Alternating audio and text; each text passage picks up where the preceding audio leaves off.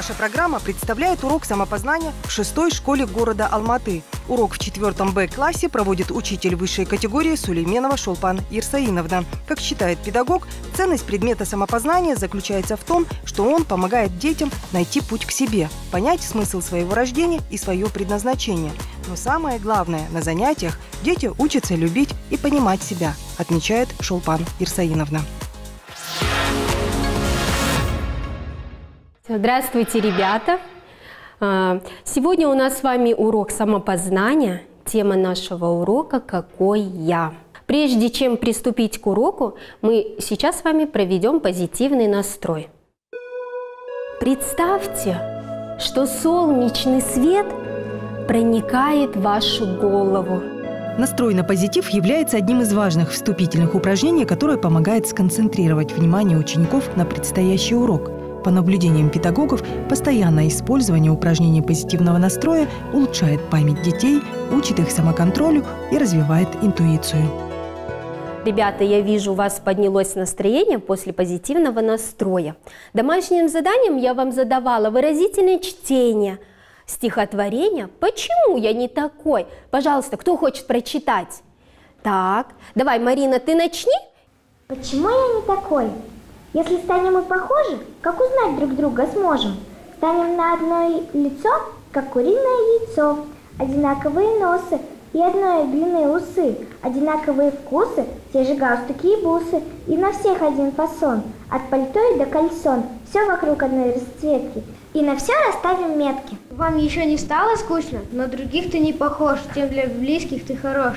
Им всего милее веснушки, у вихрастого Андрюшки, отопыренные ушки и курносый нос Танюшки. Всякой формы и раскраски ваши волосы и глажки. Милых деток очень разных, самых лучших и прекрасных.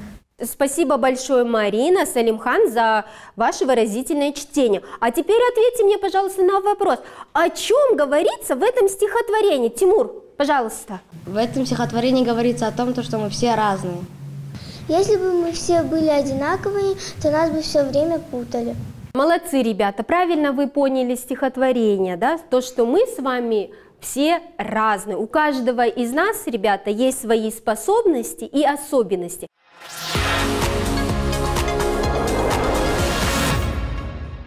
Посмотрите внимательно на доску. Цитата нашего урока сегодня. Надо искать свою суть, свои человеческие стойки, свои внутренние силы, изучать свои способности. Этот сказал, ребят, философ Хорхе Леврага.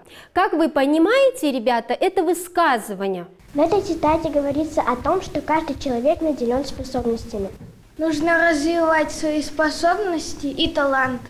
Человек, который обладает талантом, вызывает уважение своим стремлением. Какой я? Кто я? Почему я не такой?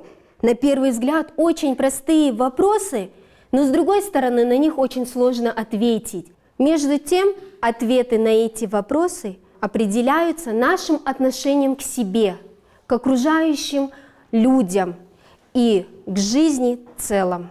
Сегодня мы будем с вами говорить о внутреннем мире, о представлении, ребята, э, формирования вашей уверенности, потому что, ребята, в дальнейшей жизни она вам пригодится. Ребята, я хочу вам сейчас прочитать притчу, которая называется «У родника». Слушаем внимательно, потом я вам буду задавать вопросы.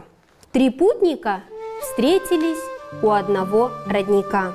В том месте, где текла вода, была высечена надпись «Путник, будь чистым, как этот родник». Когда три путешественника, напившись вдоволь воды, прочитали надпись, то один из них, по-видимому, купец, сказал «Умные слова здесь высечены. Ручеек от родника бежит днем и ночью, не переставая, и протекает в дальние земли. Особая роль на занятиях по самопознанию отводится чтению и обсуждению притч. Мудрость, которая подается в простой и ясной форме, учит детей думать, находить решение проблем и оценивать свое поведение. Сегодня на уроке ученики обсудили притчу о роднике. Как вы думаете, кто из спутников был прав? Я думаю, был прав третий путник, юноша. Ну, потому что он сказал, что твоя душа должна быть чистым, чистой, как этот родник. Я считаю, что все три путника правы, потому что нельзя лениться и нельзя быть злым, надо работать, не покладая рук. Правильно, ребята, вы поняли эту притчу, и правильные выводы вы сделали по ней. Приступаем к творческому заданию. Перед вами лежит белый лист бумаги. Вам нужно будет его взять и слушать мою команду. Берем правый, нижний, нижнюю часть, отрываем бумагу. Верхний, левую сторону, ребята, отрываем. Хорошо, молодцы. И смотрим на свою бумагу. И что вы можете сказать о наших листочках? У нас у всех получились разные листочки. Это доказывает то, что мы все разные. Вы правильно заметили, у каждого получился свой листок. Мы все с вами разные, у всех свои способности. Кто-то лучше знает математику, кто-то талантлив творчески. Не бывает, ребята, на Земле одинаковых людей. А сейчас мы выполним следующее творческое задание. Вы должны будете заполнить анкеты под названием «Вот я какой». Сделать себе презентацию.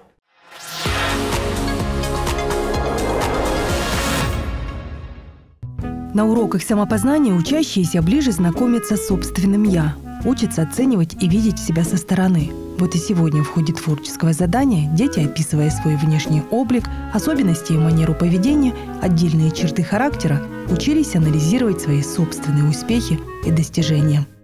Ребята, я вижу, вы уже заполнили свои анкеты. Сейчас вы должны будете положить ее в корзину.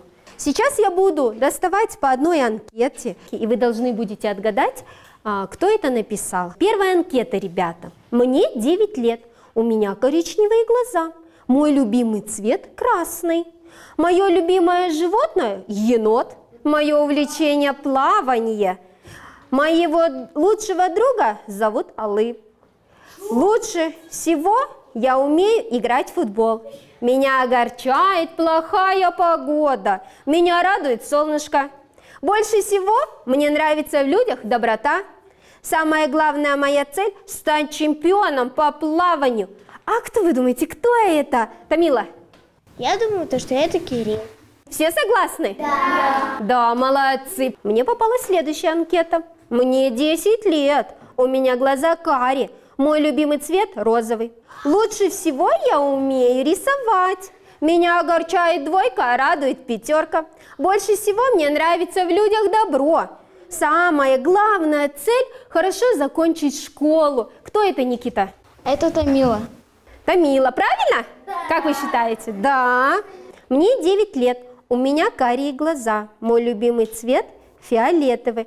Мое увлечение – танцы фортепиано. Меня огорчает предательство друзей. Меня радует отличный результат. Больше всего мне нравится в людях честность и доброта. Самая главная моя цель – учиться на отлично. Кто это? Конечно же, это Аружан. Вы правильно ответили, это была Аружан. А теперь, ребята, мы посмотрим, насколько действительно она талантлива.